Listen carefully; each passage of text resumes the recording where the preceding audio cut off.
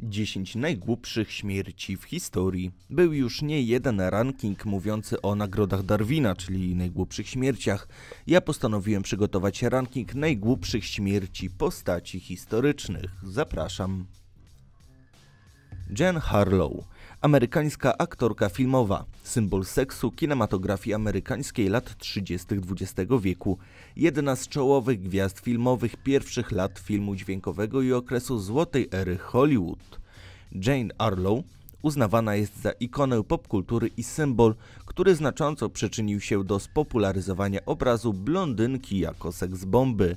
Na zdjęciach promocyjnych miała w zwyczaju pojawiać się w długich, drapowanych sukniach bez bielizny.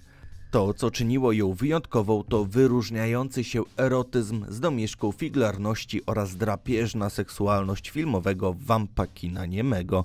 Charakterystyczny platynowy odcień włosów, będący w ówczesnych czasach czymś nowym, zapewnił Harlow status gwiazdy i stał się jej znakiem rozpoznawczym po kres kariery.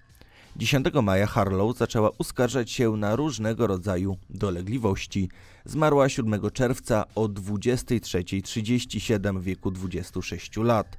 W dokumentach medycznych odnotowano, że przyczyną śmierci był obrzęk mózgu powstały w wyniku powikłań spowodowanych niewydolnością nerek.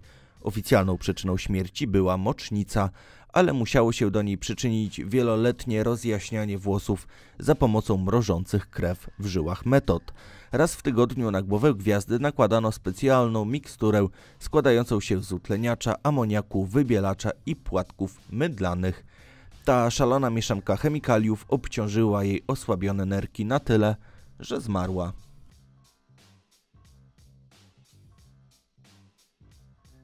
Henry Pert. Otóż broń jest niebezpieczna.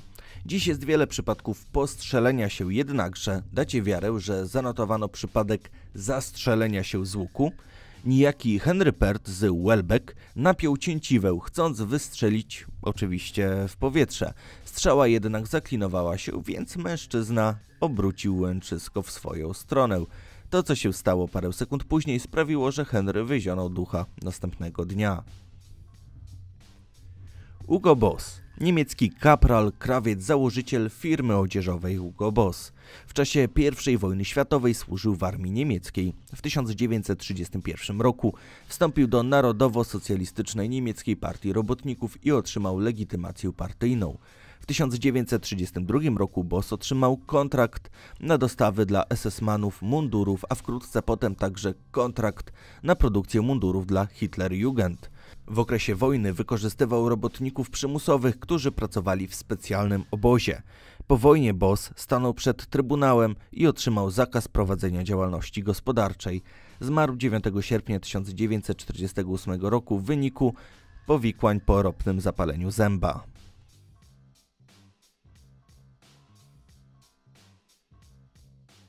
Aleksander Grecki Król Grecji w latach 1917-1920 wstąpił na tron podczas I wojny światowej, gdy jego ojciec, zwolennik polityki proniemieckiej, został zmuszony przez aliantów do abdykacji i opuszczenia Grecji wraz ze starszym synem. Monarcha został pogryziony przez małpę, gdy próbował ją oddzielić od psa.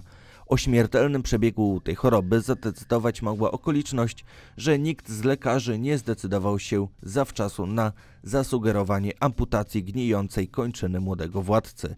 Aleksander I zmarł na sepsę połączoną z gangreną niemal całego ciała po kilkutygodniowej chorobie.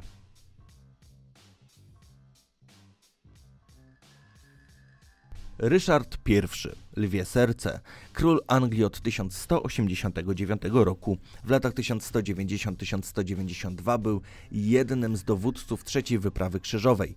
Władca niezwykle kontrowersyjny, który swe królestwo traktował jako źródło dochodów na pokrycie kosztów swych wojen. Nigdy nie nauczył się angielskiego, a w kraju przebywał okazjonalnie. Legendę króla wspierał jego niezwykły przydomek, dzięki czemu historia jego panowania aż do XIX wieku przysłonięta była z pogranicza baśni. Wczesnym wieczorem 25 marca 1199 roku Ryszard spacerował wokół zamku, doglądając prac oblężniczych. Nie założył na siebie zbroi. Z zamku co jakiś czas dawali o sobie znać łucznicy, ale ich działaniom poświęcono niewielką uwagę.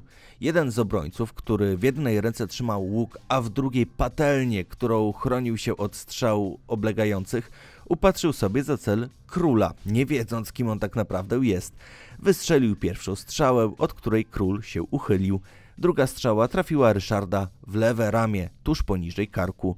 Król próbował wyciągnąć strzałę w swoim namiocie, ale bezskutecznie. Wezwany chirurg usunął grot. Ryszard zmarł we wtorek 6 kwietnia, leżąc w ramionach swojej matki.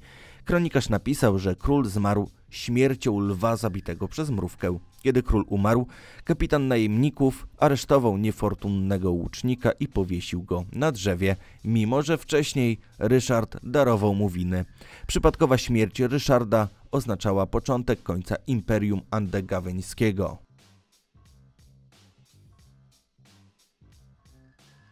Marcin I Ludzki, król Aragonii w polityce zagranicznej, król Marcin starał się zachować dobre stosunki z sąsiednimi krajami. Wysłał również dyplomatów do Kastylii, a także do muzułmańskich władców Grenady i Tunisu. Walcząc z muzułmańskimi piratami grasującymi na Morzu Śródziemnym, powziął wyprawy na wybrzeża północnej Afryki, by zniszczyć ich bazy. Podczas schizmy papieskiej poparł pochodzącego z Aragonii papieża Benedykta XIII. Pewnego wieczora na uczcie zjadł on całą pieczoną gęś. Tłusty przysmak okazał się jednak jego ostatnim posiłkiem. Wszystko przez błazna, który po tym jak władca udał się na odpoczynek do swoich komnat, postanowił go rozbawić.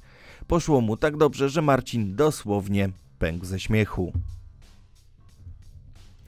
Adolf Fryderyk, król Szwecji od 1751 roku. Adolf Fryderyk jest dziś pamiętany głównie dlatego, że to jego dziełem było zniesienie cenzury w Szwecji. Król zmarł 12 lutego 1771 roku na atak serca, którego doznał po dość obfitym posiłku. Skonsumował wtedy kolejno homara, kawior, wędzone śledzie, kiszoną kapustę, zupę kapuścianą, szampana i 14 porcji swego ulubionego deseru, słodkich bułek zamoczonych w gorącym mleku. Późniejsze badania wykazały, że król uzależniony był od opium. Niestety zażywanie narkotyku przez poszkodowanego zahamowało zazwyczaj dobrze działający odruch wymiotny, więc jego brzuch pękł jak balon przepełniony wodą, a pacjent umarł na stole operacyjnym.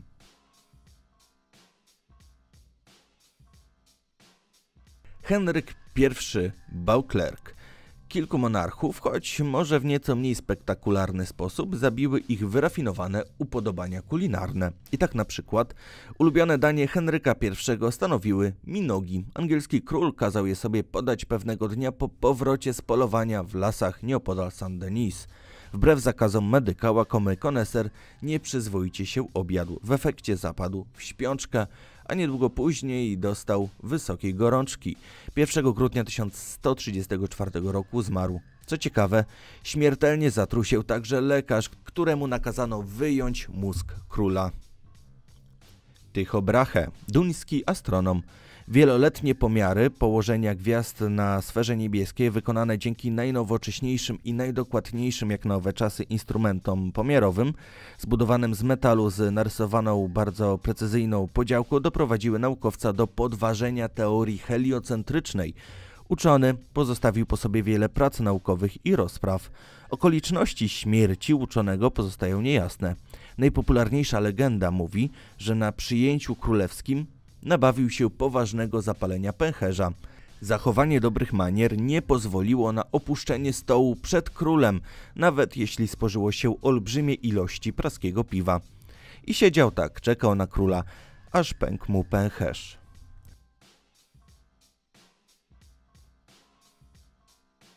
Attila, władca Hunów w latach 445-453. Razem ze swoim bratem stworzył imperium, które sięgało od Danii po Bałkany i od Renu aż po Morze Kaspijskie. Ponoć na swoim ślubie z młodą i piękną księżniczką dowódca najpierw spił się na umór, a później ochoczo zabrał do wypełniania obowiązków małżeńskich. Jednak utopił się w trakcie stosunku swoją własną krwią, która leciała mu z nosa. Według podań zabójczy krwotok miał jeszcze bardziej trywialną przyczynę. Otóż Attila ścigał świeżo upieczoną pannę młodą dookoła namiotu i wyrżnął głową prosto w słupek. Dzięki za obejrzenie do końca, mam nadzieję, że ten odcinek Wam się podobał. Dajcie znać w komentarzu o czym chcecie kolejną dyszkę i zapraszam na moje dwa pozostałe kanały Światowa Historia i A to Ciekawe. Trzymajcie się, cześć.